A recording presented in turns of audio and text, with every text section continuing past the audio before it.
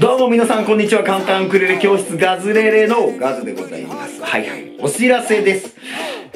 じゃん。来ました。ガズレレ歌文ボリューム5はいはいはい。いよいよこの紫の本が私の手元に届きましたよ。この本。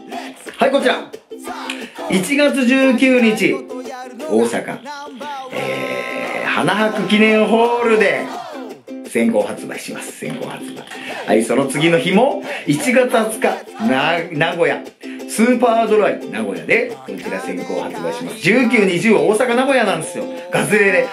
集まってくださいやったーそして、いろんな曲歌いましょう。レッツゴー最高の、一応テーマがついてますけど、この中からもやるかもしれない。いろんな曲やりましょうね。待ってますよ。そして、まあ一応お知らせですけど、見てください、これ。ガズレレ歌本シリーズも、12345ボリューム5まで出ました。ありがとうございます。見て。累計 3, 3万部。映るかなこれ。ピント。あーってきたってきた。3万部。突破ということでございまして。はい。そうほんとさほんとびっくりですね。ガゼルルタブさあ今回もいい曲いっぱいですよ。皆さんいい曲いっぱい。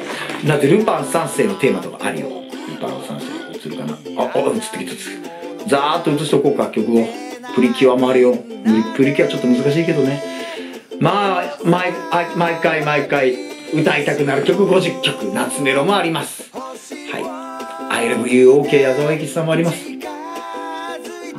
い。楽しみですね。で一般発売書店発売は1月23日です。ただ今ただいま Amazon でも予約大好評受付中。はいこちらね、えー、詳しいことホームページに書いてあります。はいどうぞ。ガゼレレここにホームページをリンクも貼っておきます。あー楽しみだ。本当に楽しみだ。名古屋大阪大阪名古屋。待っててくださいね。その後もはいドーン。広島博多、えー、四日市えー、浜松。覚えてた覚えてまだまだ続きます。はい。でえー、とにかくですね。ガズと一緒にセッションしましょう。どんな質問にも答えます。えー、ほんと、あらゆる世代、お子ちゃんからおじいちゃんおばあちゃんまで、気楽に遊びに来てください。お一人様も大歓迎。なぜなら私がいるから大丈夫。大丈夫。はい。じゃあ、そんなことでね、えー、今年もどんどん行きますせーってことで、あ、そう昨日タワーレコードで、新宿タワーレコードで、インストアイベントやらせてもらって、まあ、すごい、もう本当に、最高でした。もう大勢の方と一緒にタワーレコードの中でワイワイやってね、まあ、ああいうのもね、いいですね。ねまたどんどんいろんな面白いことやっていこうと思います。そのまま、ひとまず行き着く先は9月1日のね、日比谷野音ですからね、皆さん、日比谷の野音に向けていろいろ練習しておいてください。